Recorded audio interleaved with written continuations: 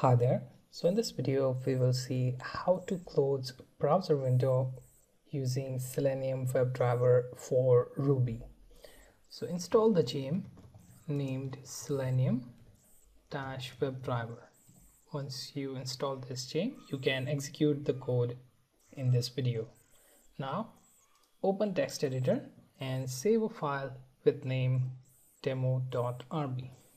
Now type in require selenium dash webdriver after that create variable name driver then call for selenium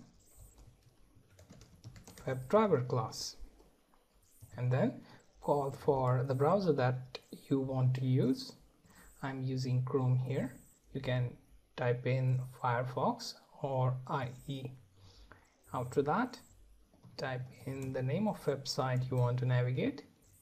Let's say you want to navigate to bing.com now in order to close the window we use driver.quit do note that if we don't add some delay it will just execute the program and will close the window immediately.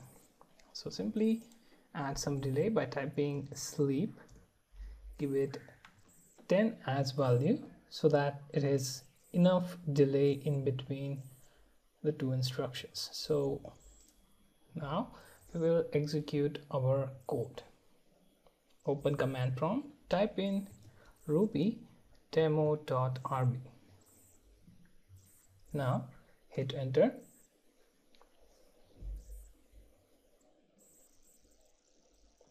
this should open chrome window and it will navigate to bing.com and now that we are on page after a specific delay it will close itself.